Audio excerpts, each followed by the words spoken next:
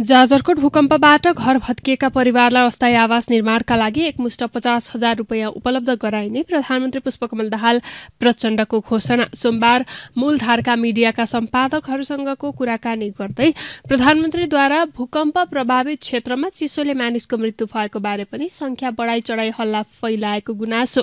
मृत्यु भएका भनिएका सबै चिसोका कारण नभई कतिपयको कालगतिले मृत्यु भएको र अस्थायी आवास बनाउन समस्या भएकाहरूको हकमा प्रहरी र सेनाले आवास बनाउनका लागि सहयोग गर्ने प्रस्तोक्ति एनसिएल सेयर बिक्री प्रकरणमा अध्ययन भइरहेको जानकारी प्यालेस्टाइनी विद्रोह समूह हमासको नियन्त्रणमा रहेका भनिएका नेपाली युवा विपिन जोशी जीवित रहेको र सरकार आफै गएर ल्याउन सकिने अवस्था नभए पनि यसबारे पहल भने गरिरहेको उल्लेख।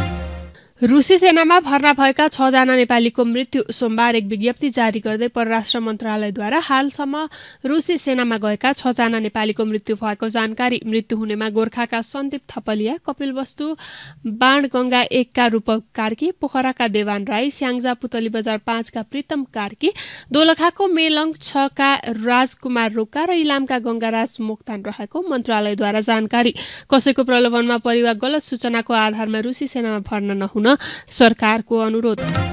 वर्तमान सरकार चीनसँग सहयोग लिन डराउने गरेको नेकपा एमालेका अध्यक्ष एवं पूर्व प्रधानमन्त्री केपी शर्मा ओलीको भनाई। सोमबार झुलाघाट शिवा फन्जाङ यात्राका क्रममा दैलेखमा आठ राजनैतिक दलहरूले बुझाएको ध्यानकर्षण पत्र बुझ्दै चीन सरकारले कुनै पनि कुरामा नेपाललाई सहयोग गर्ने भनिरहँदा पनि अर्को शक्तिका कारण वर्तमान सरकार सहयोग लिनबाट डराउने गरेको ओलीद्वारा उल्लेख। राजनीतिक दलले अब राजनीतिक कुरा गरेर मात्र नहुने र विकासका लागि राजनीति नै गर्नुपर्ने भनाई वर्तमान गठबन्धनले जनतालाई अल्मल्याउने काम गरिरहेको आरोप। नेपालमा रहेका कम्युनिस्ट विचारधारा बोकेका राजनीतिक दलको एकता आजको आवश्यकता रहेको नेकपा माओवादी केन्द्रका महासचिव देव गुरुङको भनाई रुकुम पश्चिममा प्रेस सेन्टर नेपालले गरेको पत्रकार भेटघाट कार्यक्रममा बोल्दै सबै कम्युनिस्ट शक्ति एक हुन जरुरी रहेको उल्लेख जनताले पनि माओवादी घटक एक भएको हेर्न चाहेको जिकिर।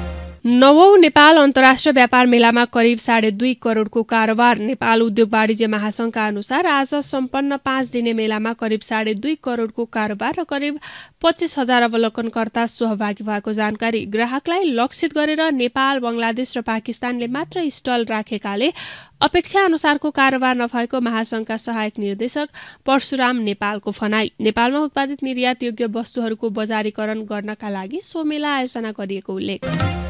जिल्ला अदालत काठमाडौँद्वारा नेपाल कम्युनिस्ट पार्टीका महासचिव नेत्र विक्रम चन्द विप्लव सहित उच्च नेताहरूको विरुद्ध पक्राउ पूर्जी जारी। उनीहरू विरुद्ध जिल्ला अदालत काठमाडौँमा दुई हजार छयत्तर असोज नौ गते राज्य विरुद्धको कसुर मुद्दामा दुई हजार अस्सी साल मङ्सिर दस गतेको आदेश अनुसार मुलुकी फौजदारी कार्यविधि संहिता दुई हजार चौरात्तरको अन्ठाउन्न तेह्र पैँतिस दिनको पक्राउ पूर्जी जारी गरिएको अदालतको सूचनामा उल्लेख। पक्राउ पूर्जी भएका शीर्ष नेताहरू विप्लव सहित प्रवक्ता खड्गबहादुर विश्वकर्मा अखिल नेपाल किसान महासंघ क्रान्तिकारीका अध्यक्ष राजु कार्की विरुद्ध पैँतिस दिने पक्राउ पूर्जी जारी।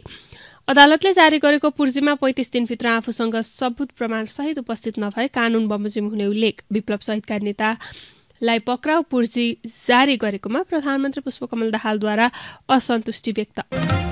वैदेशिक रोजगारमा रहेका नेपालीहरू ठगिने क्रम बढेको भन्दै नेपाल प्रहरी साइबर ब्युरोद्वारा सचेत रहन आग्रह।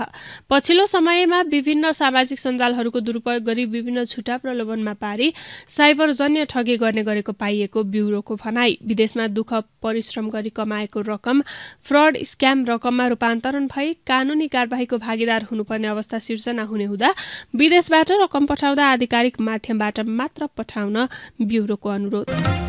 साताको दोस्रो कारोबार दिन सोमबार नेप्से सूचक तीन अङ्कले घट्दै अठार सय सडचालिस दशमलव आठ एक अङ्कमा ओर्लियो। तीन अङ्कले नेप्से घटेको बजारमा आज एक अर्ब उन्नाइस करोड बहत्तर लाख रुपियाँ बराबरको अडतिस लाख छयानब्बे हजार किता सेयर किनबेच।